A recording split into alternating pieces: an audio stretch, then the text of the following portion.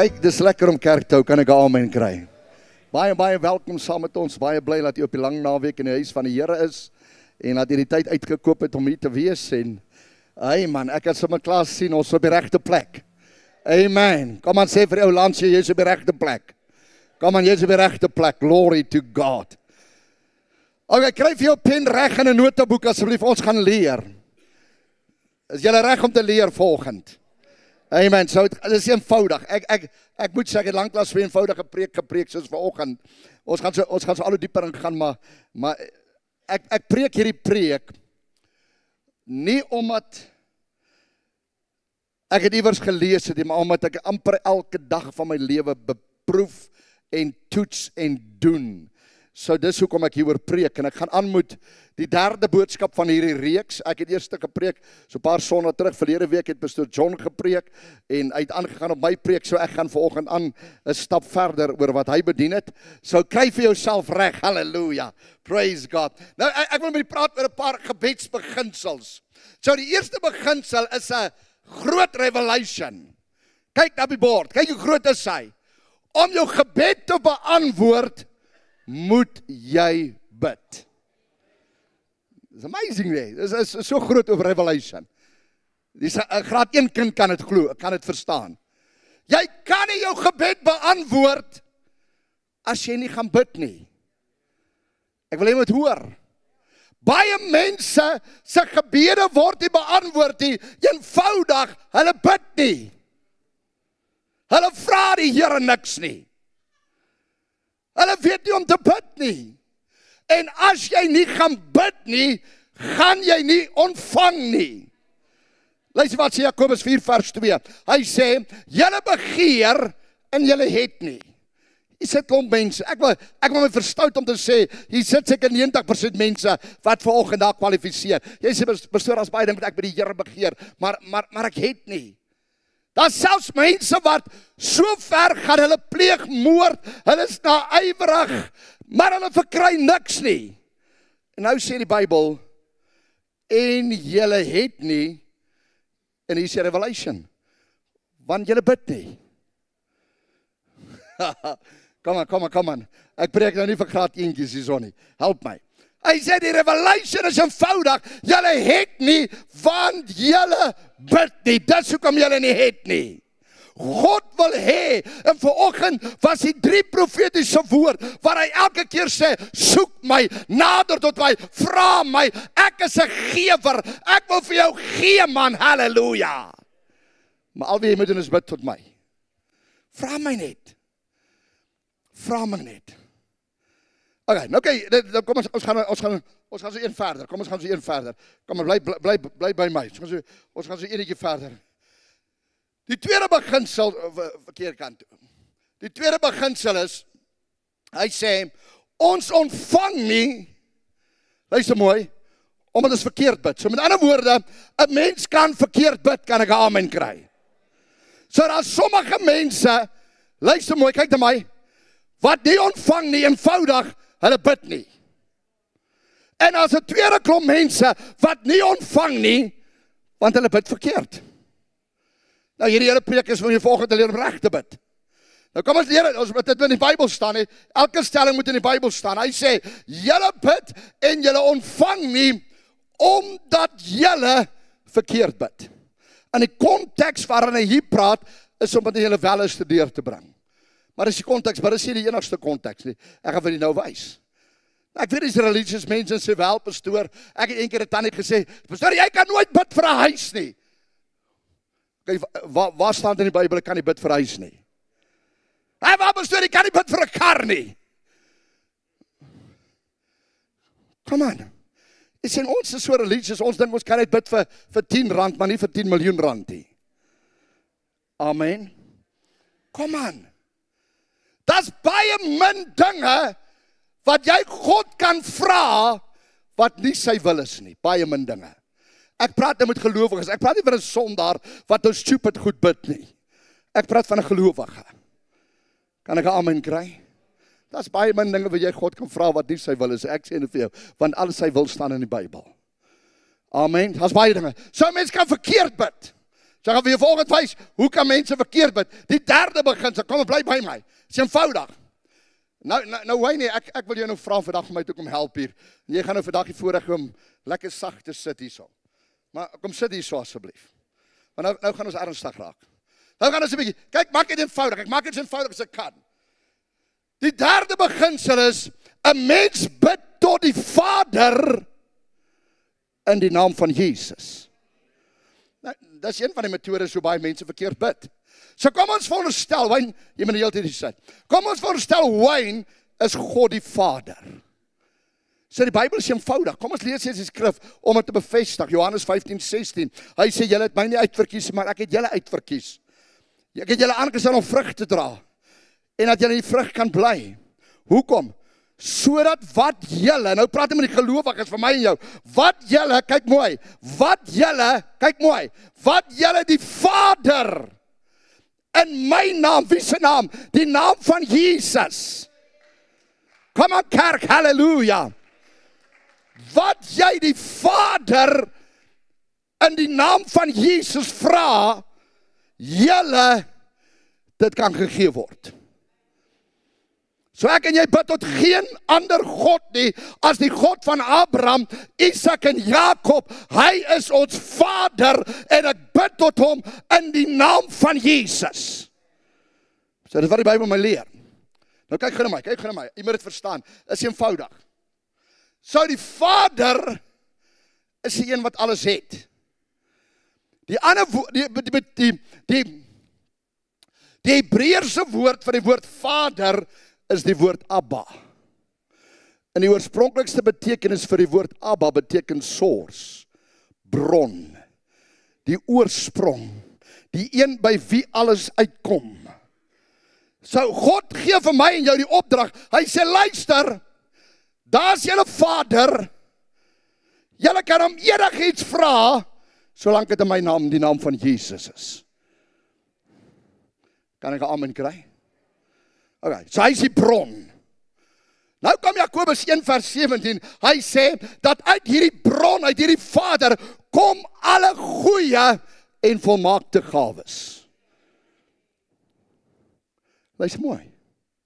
So waar kom die goeie en die volmaakte gawes vandaan? Dit kom van die Vader. Nie van die seun Jesus nie, nie van die Heilige Gees nie. Hulle het 'n ander doel, maar as jy versoek het, dan vra jy die Vader, van die Vader het alles. En alle goeie gawes en volmaakte kom van hom af.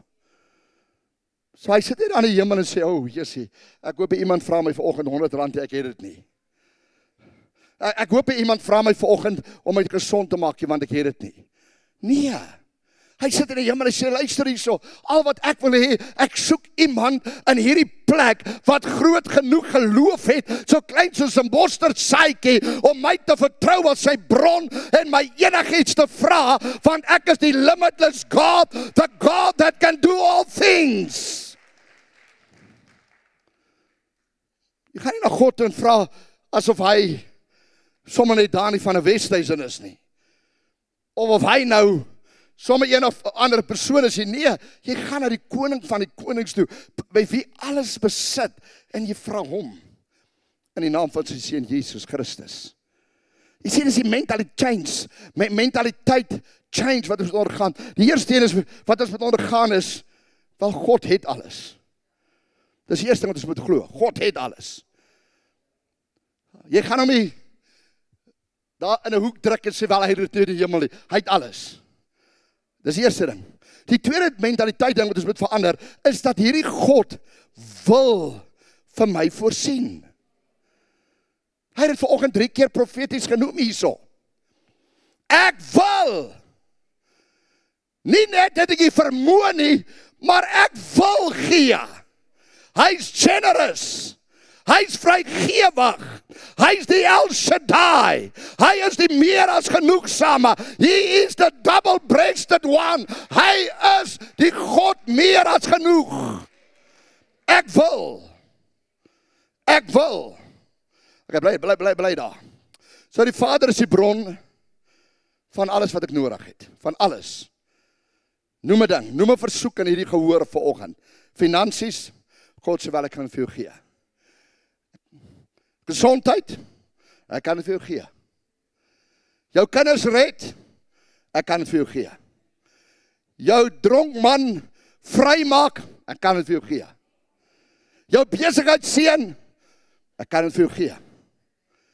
Jou beskerm. Ek kan dit vir jou gee. Kom aan, noem 'n versoek. Enige ding vra hom. Ek kan dit vir jou gee want uit my ek is die bron van al jou voorsienigheid. So alles kom hier uit. OK, nou kom ons gaan nou verder. Nou Filippense 4 vers 19. Ons almal ken hom. Kom ek ek dit sou skien eenvoudig wees en tot nou te verstaan almal nog wat ek bedien tot ons nou by die dieper kan kom. Hy sê en my God. So wie gaan voorsien en my God. My Vader sal luister mooi elke behoefte van julle vervul. So wie gaan dit vervul? Die volle evangelie kerk Kreersdorp Wes? Nee. Pastoor Dani van 'n Westhuizen? Nee. Met pastoor Tonna Maroke? Nee. Wie gaan dit voorsien? My God will supply. Moenie by verkeerde plek gaan soek vir jou oplossing nie. Die wêreld kan jou niks gee nie. Kom na die bron toe. Sy naam is God. Halleluja. Hy is die bron. So my God sal, nie miskien nie, hy sal. Wat sal hy doen? Want hy sê elke behoefte van my vervul. Hoe gaan hy dit vervul? Of watse mate gaan hy dit vervul? Kyk, lees lees die skrif. Kan lees daar.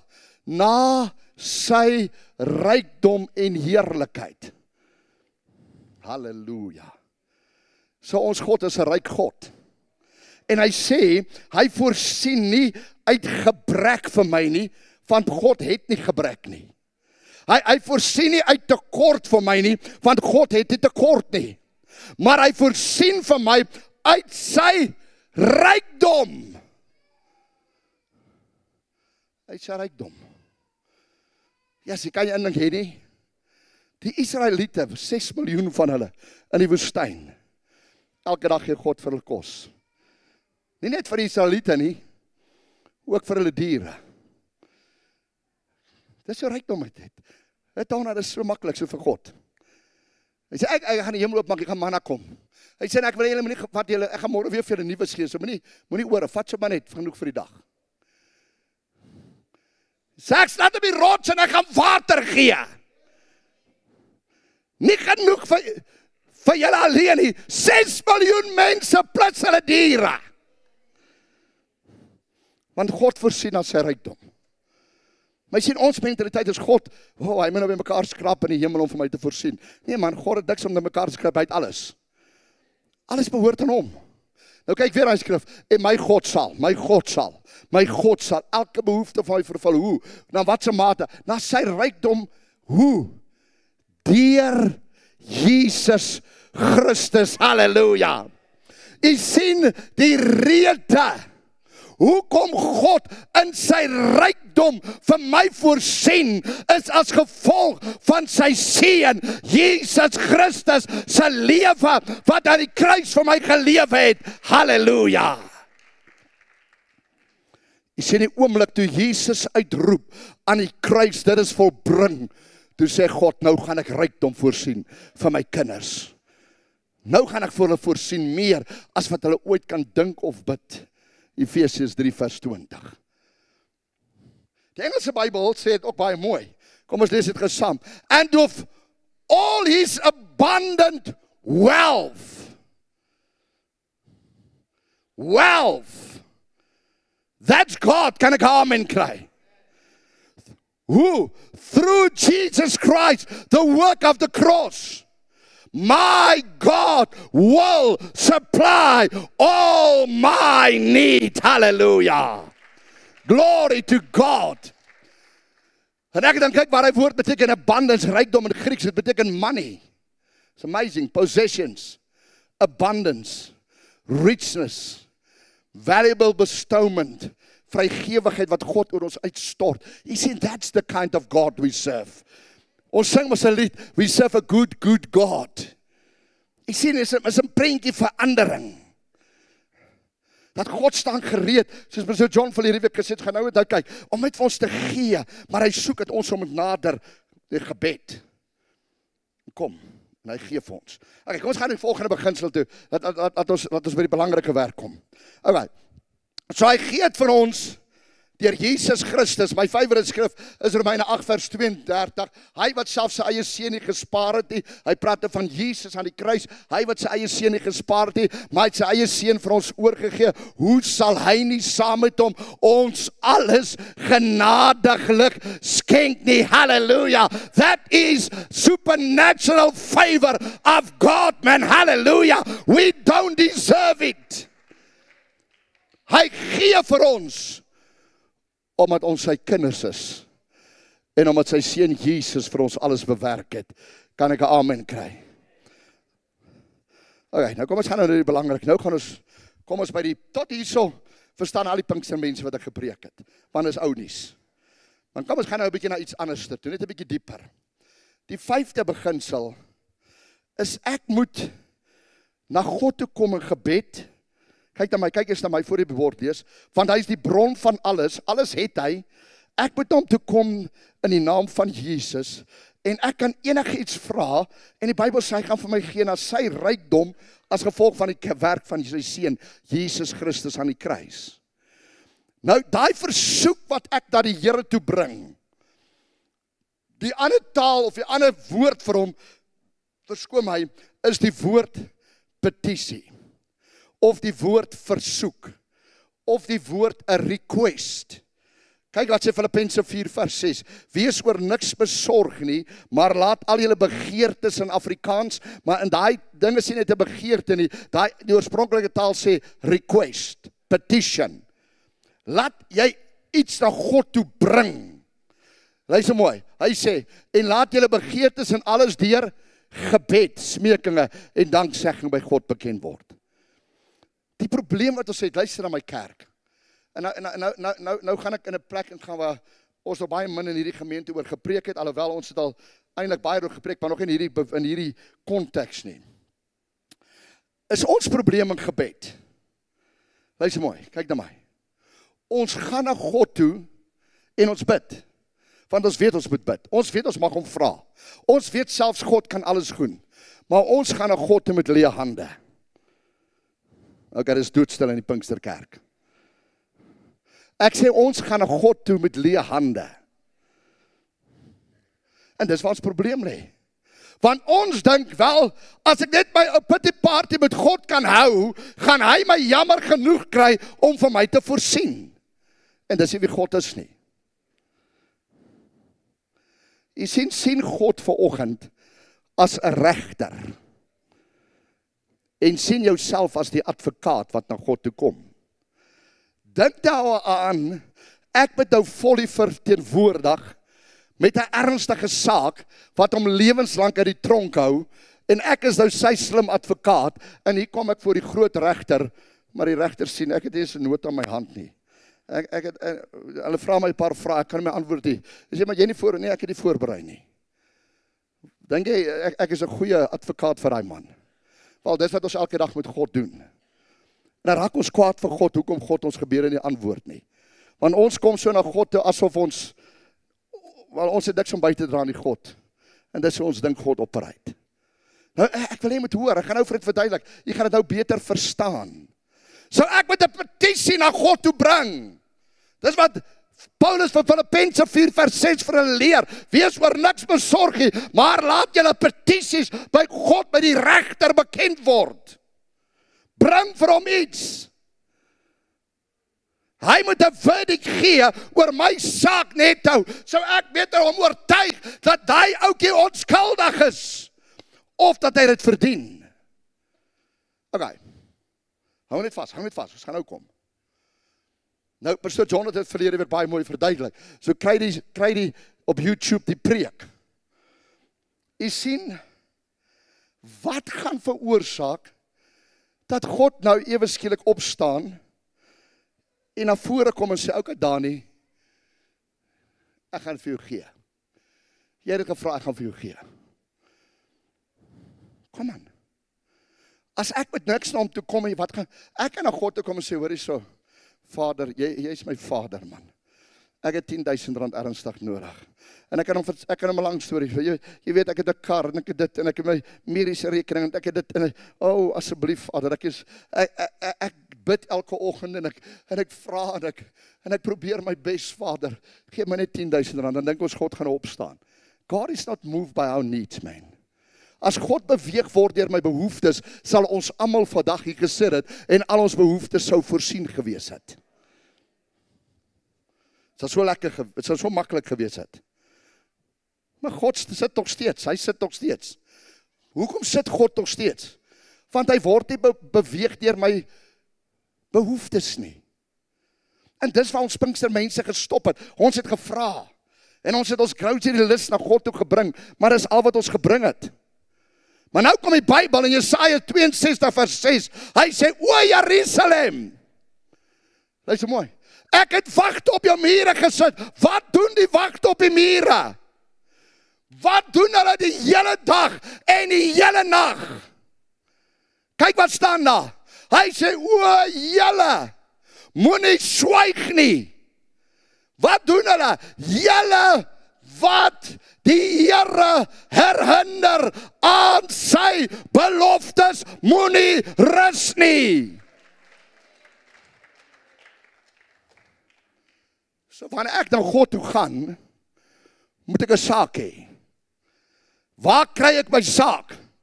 Wel, jy kry jou saak in hierdie boek. Wat ons die Bybel noem. Kan ek 'n amen kry? En elke keer Wanneer ek na God toe kom en ek sê God, daar staan geskrywe. Daar staan geskrywe. Daar staan geskrywe.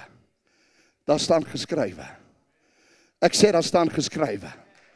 Ek sê daar staan geskrywe. O, oh, elke keer wanneer ek sê daar staan geskrywe, dan staan my bron op om vir my te voorsien want hy word beweeg deur my woorde wat ek vir hom spreek wat uit sy woord uitkom. Sit my broer. Daarom sê Jesaja 55 vers 11 so sal die woord wees wat uit my mond uitgaan Kyk daar staan. Dit sal nie leeg na my terugkeer nie, maar dit sal doen. Dit sal doen. Halleluja. Wat en dit sal my dit sal maar doen wat my behaag en dit sal voorspoedig wees na wie toe ek dit stuur. Verlede week het John baie mooi Jeremia 1 vers 12 baan, dat ek wil weer vir u lees. Hy sê: "Toe sê die Here vir my: Jy het goed gesien. Want ek is wakker, alert, watchful over kyk wat sit staan daar. Ek is wakker oor my woord. Ek is nie wakker oor jou behoeftes nie. Ek is wakker oor my woord. Ek wil weer sê, ek is wakker oor my woord. Halleluja. So elke keer wanneer ek na God is gekom en ek sê vir God, jy is, jy is my Vader. Ek het 10000 rand dringend nodig. Ek doen dit op grond van ja, u woord sê dit. U woord sê dit. U woord sê dit. U woord sê dit. Wat doen die Vader? Hy staan op om vir my te voorsien want hy's beweeg deur sy woord. Halleluja. Maar sien ons dink Dankie my vriend. Sit sit.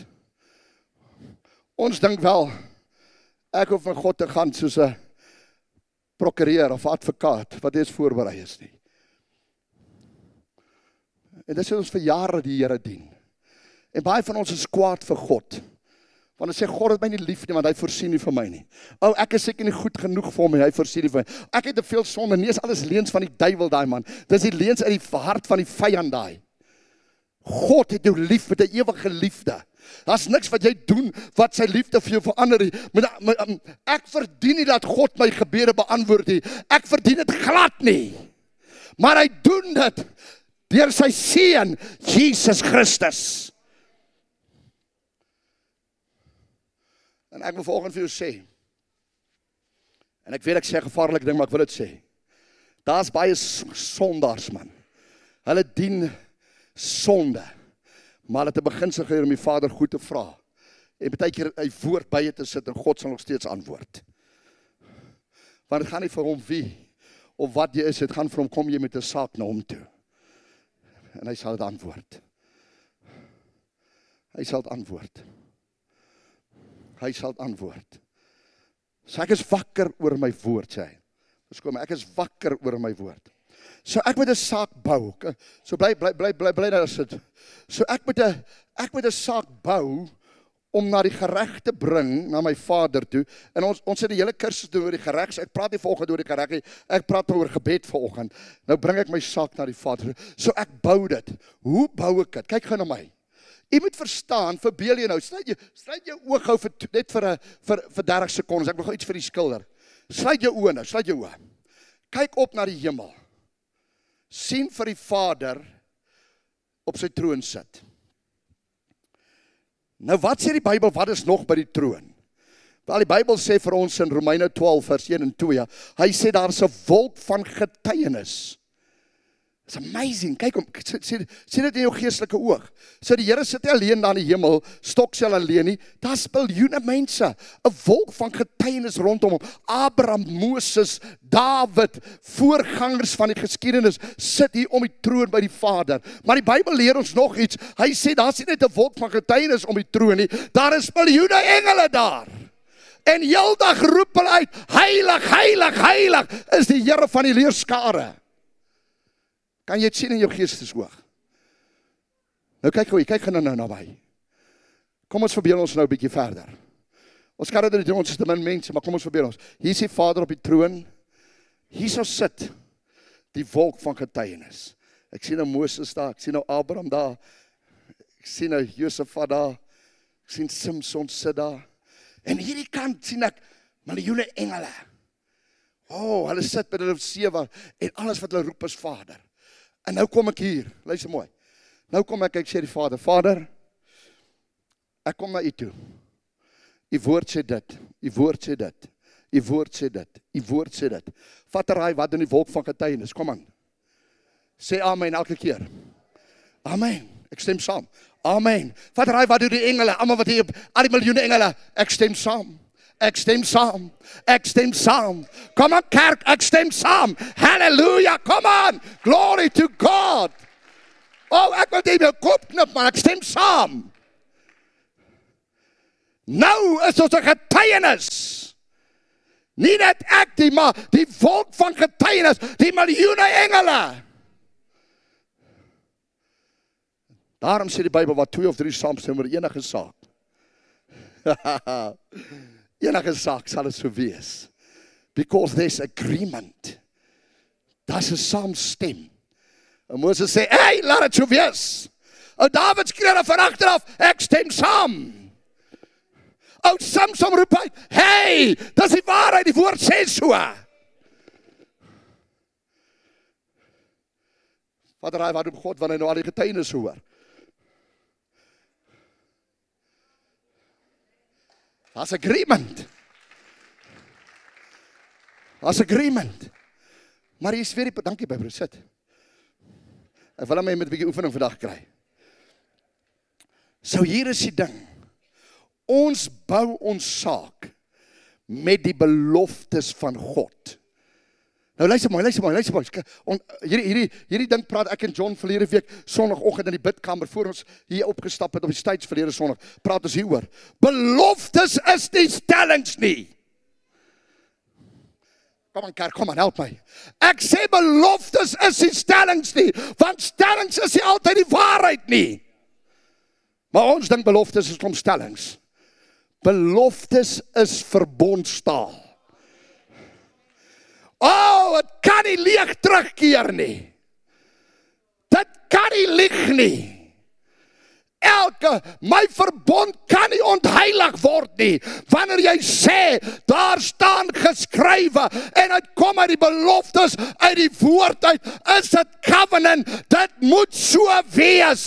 Halleluja. Dis nie net 'n stellingkie nie. Dit is 'n verbond wat jy sê en God word beweeg deur verbond. Daarom noem ons hierdie Bybel die Ou Verbond en die Nuwe Verbond.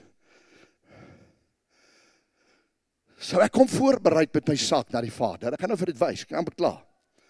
Volk van getuienis en die engele stem saam. Dan kom hy skryf weer in vervulling. Toe sê hy vir my: "Dani, jy het reg gesien. Ek is wakker. I'm alert. I'm watchful over my word. Over my word." En die engele stem saam en die volk van getuienis stem saam die agste beginsel, my laaste beginsel. Om 'n saak vir God te bou is jou eie verantwoordelikheid. Help my asseblief. Jy sien is jou verantwoordelikheid. Jy sê mos maar gaan nie ek weet nie hoe nie. Wel ek vat nou 'n eenvoudige Bybel soos my Bybel. Ek dink ek het iewers iewers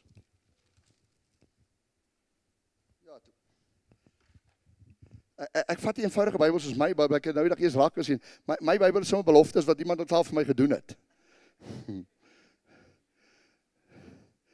Jy kan 'n boek koop met beloftes in man. Jy kan op jou internet gaan en beloftes kry as jy te lui is om die Bybel te lees. Jy kan enige plek kry. Inteendeel, jy kan dit elke Sondag die preek neerskryf en jy gaan elke Sondag 'n klomp spul beloftes kry. Kom aan. Sy so probleem is om te kry nie. Die probleem is om hom neer te skryf en om te leer en hulle voor die altaar te bring voor die troonkamer van God sodat die volk van getuienis en die engele kan saamstem.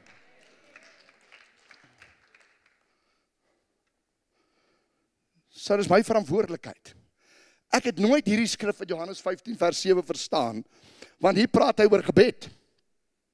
En ewe skielik val hy hierdie uit die blou tyd val die skrywer Johannes met die woord in. Die konteks van Johannes 15 is eintlik gebed. Hy sê as julle my bly en my woord in julle, kyk dan wat sê hy. Sal julle vra net wat julle wil en julle sal dit verkry. Maar ek hoop jy het raak ek hoop jy het raak gelees wat ek gelees het. As julle in my bly, wie se verantwoordelikheid is dit? God se. Jy kan nie, jy kan net in God bly. Deur sy seun Jesus Christus. Ek is nie in God omdat ek goed is nie. Ek is in God omdat God goed is. Dis my posisie. I'm in Christ and Christ in me. Hy sê as jy in my bly, dis die maklike deel. Al wat jy moet doen is jy moet wedergebore word. Kan ek amen kry? Jy moet net wedergebore word. Dan is jy in Christus. Maar hier kom hy met die tweede gedeelte. En dan moet my woord in julle bly. Nou maak dit nou 'n religie en sê wel as Christus in my bly dan bly die woord in my. Jy's heeltemal reg. Want Jesus is die woord. Maar dis nie die konteks wat hy bedoel nie. Ek het al die jare daai ding gepreek wat ek nooit gesê het. Maar tot die Here my verlede na voor verlede week begin wys het, die rede hoekom so baie min mense se gebede beantwoord, nie beantwoord word nie, is omdat hulle nie die Bybel ken nie. Kom aan. En ek is hier om af te breek, ek is hier om te motiveer. As jy 'n finansiële probleem vir oggend het, luister mooi. Dan wil ek jou vra, kan jy my net drie beloftes gee waar die Here jou finansiëel gaan seën? En die meeste mense wat dit kan dit doen nie. Jy sien ons kan nie 'n saak na God toe bring nie. Ons kom soos advokaat, ons is nie voorberei nie. As jy vaak siek is jou liggaam en ek vra vanoggend, hoor jy noem my uit jou kop uit gou drie beloftes oor oor oor gesondheid. Kan die meeste mense dit doen nie. En ek is hier om my af te breek. Ek is hier om vir julle te sê, if you want to God as jy God in aksie wil sien, gee vir hom die woord. Jy hoef dit as jou kop uit te ken, skryf dit ten minste net neer en kom met 'n papier voor God soos ek amper elke oggend van my lewe doen en sê, Here, ek ken nie al hierdie beloftes nie, maar u woord het gesê, u woord het gesê, u woord het gesê, u woord het gesê. Kom aan. Al moeite wat jy moet doen is om dit neer te skryf of of as jy wat ook kan tik, kan dit ook tik ook nog mooi vir die Here. Sê Here, hier is my beloftes. Vir finansies het ek hierdie beloftes. Vir siekte het ek hierdie beloftes. Here, vir my huwelik het ek hierdie, vir my kinders het ek hierdie, vir my besigheid het ek hierdie. So ek haal dit uit en ek bring dit na die Vader toe. En ek weet God se woord kan nie leeg terugkeer nie. Kan nie, dit kan nie. Gaan hom in aksie bring. Amen.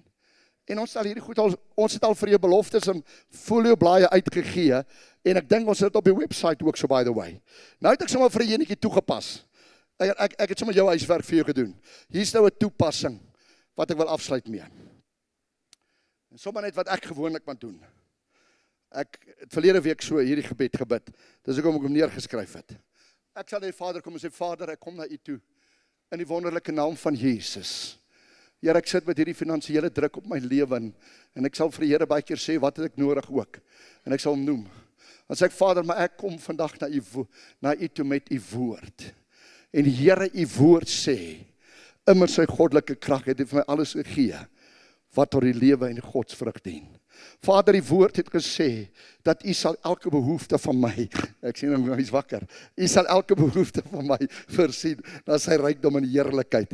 Here, U woord het gesê die seën van die Here maak ryk en moeitevolle arbeid voeg niks daarbey nie.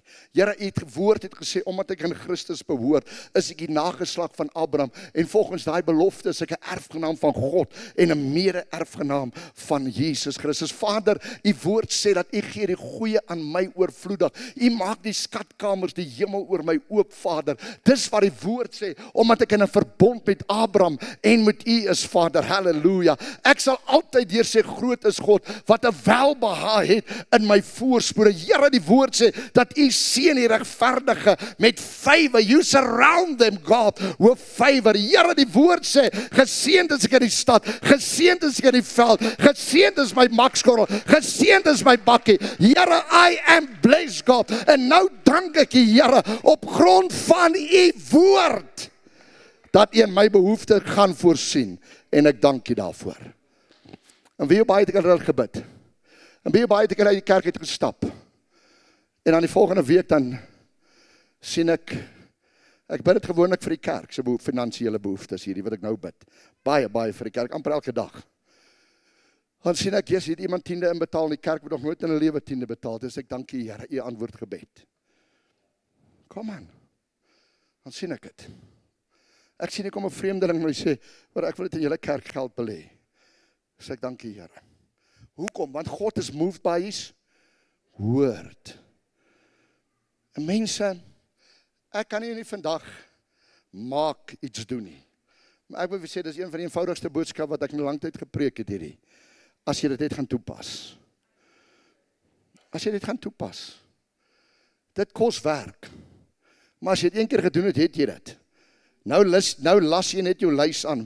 Nou hoor ek John preek, ek hoor Reynie praat, ek hoor Hendrik praat en skryf. En ewe skielik, wap! Jerk, nog met hierdie skrif, hy kom, hy kom by hierdie punt. Skryf ek dit neer. En so maak my word my lys wat net 3 beloftes het, is nou al 'n lys met 13 beloftes. Verstaan nie? Deur net te vat. Deur 'n bietjie moeite te doen om te sê, "Oké, okay, ek bring hierdie saak voor my Vader." en my Vader voorsien vir my in elke belofte. En die wolk van getuienis stem saam met my. Halleluja. Dankie Wayne. Jy het lekker gesit vandag. Soft seat. Kom ons staan saam. Praise God. Bless you Jesus. Oh, it's so lovely in his presence. Mm. Bless you Jesus. Ek wil hê met volgende Johanna ophef vir 'n oomblik asseblief. Net terwyl die musiek vir ons speel. Net terwyl die musiek vir ons speel. Ek weet nie wat is jou behoefte vanoggend nie. Maar ek weet die bron is in staat om te voorsien. Ek weet die bron is by magte om te doen ver bo wat ek bid of dink volgens die krag wat in my werk. Ek weet die bron is vrygewig. You want to bestow upon us whatever we need. Daarom sê hy vra my net. Vra my net bring 'n saak voor my whatever you need wat jy nodig het, bring dit voor my. Ek wil hê jy moet vanoggend jou sak voor die Here bring. Al gee vir die Here net een belofte. Kom aan, sit jou oë. Al gee met een belofte. Sê Here, ek gaan ek gaan erns maak om meer beloftes te maar ek het vanoggend daarom een saak wat ek voor u kan bring met 'n belofte. Net of hy staan. Trust him to ask him. Jaag weg die leuen wat vir jou sê God kan nie, God wil nie, jy's nie good enough nie. Jy's te sondig. Dis wat die Bybel sê hy sê by God sal. My God sal elke behoefte van my vervul. Moenie laat mense stukkies by die Bybel sit nie. Wat jou steel van jou vrymoedigheid nie. Net of jy staan, ek sien dis baie mense wat besig is. Net of jy staan. Here, ek het daarom hierdie een belofte wat ek vanoggend na U toe wil bring, Here. Net of jy staan. Praise you Jesus. Praise you Jesus. Praise you Jesus. Hallelujah. Praise you Jesus. My God. Dis wonderlik. Dis mense wat wat dit doen vir God. En nou begin jy te beoefen elke dag. Elke dag. Ek vat my lys en maak dit langer. O Jerusalem, ek het wag op jou mure gestel. Wat die hele dag en die nag nie sal swyg nie. O julle wat die Here herinner aan sy beloftes, moenie rus nie. En laat hom nie met rus nie totdat hy Jerusalem bevestig het. Totdat hy deurgekom het. Totdat hy vir jou voorsien het. Totdat hy die sluise van die hemel oor jou oopgemaak het. You just start doing it. En dan begin ek net die Here te dank. Net as jy staan, begin om nou te dank. Come and just start thanking him, start thanking him. Dankie Here, ek vat dit. Here, u dit sal gebeur. It will come forth God. Here, ek dank U dit is gebeur. Oh, haleluja. Ek dank U Jesus. Vader, help ons vanoggend om daders van die woord te wees en nie net hoorders alleen nie. Ek vra dit vandag, Vader, in die wonderlike dierbare naam van Jesus Christus. Help ons om so lief te raak en om ons mindset so te change dat ons u liefde besef dat u alles vir deur die seun aan ons gegee en ons kan nie nader deur die woord. Ons dankie daarvoor in Jesus naam. En al die kinders van die Here sê ek respek in hom God bless you